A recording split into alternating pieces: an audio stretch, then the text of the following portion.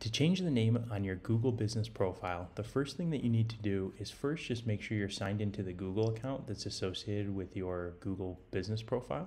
And then search the name of your business. And then if you want to add, uh, search city and state too. So, like Entertainment Rents, Norwich, New York, um, that's helpful too if you can't find your business when you just search your business name.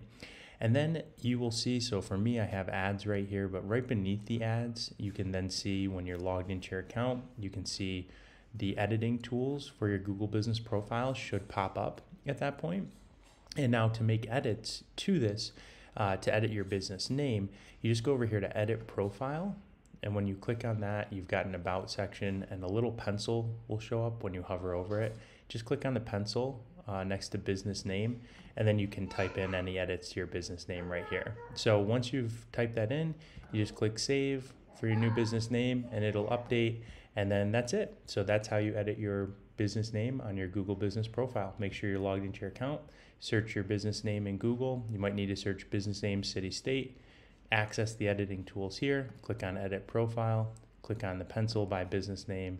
Edit it. And then you're all set. Save it and you'll be done. That's how you edit your name on your Google business profile.